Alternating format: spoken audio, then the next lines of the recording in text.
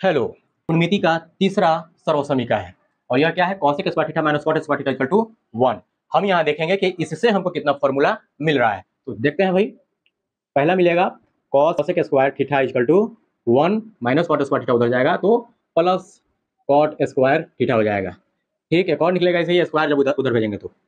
Cosec square theta equal to cot square theta equal to cosec square theta minus one और फिर जब square भेजिएगा उधर cot theta equal to one यानी under root cosec square theta minus one यहाँ भी दो ठो मिल गया। टोटल यहाँ चार फॉर्मूला हो गया। आप नोट में याद रखोगे tan theta equal to sine theta बटा कॉस थीटा और cot theta equal to cos theta बटा sine theta okay thank you